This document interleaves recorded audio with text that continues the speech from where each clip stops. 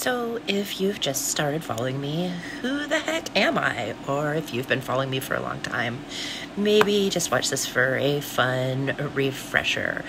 Um, I have been on the internet since the 90s. I was a goth personality on the internet before like social media was even really a thing. I started on like BBS chat rooms and Usenet and MIRC chat and AOL chat rooms and all those things that would be considered dinosaurs now. Um, some would have called me an alt model. Um, I also started designing clothing on the internet with a little clothing company called Azrael's Accomplice before they even really had ways to shop on the internet. So that was interesting.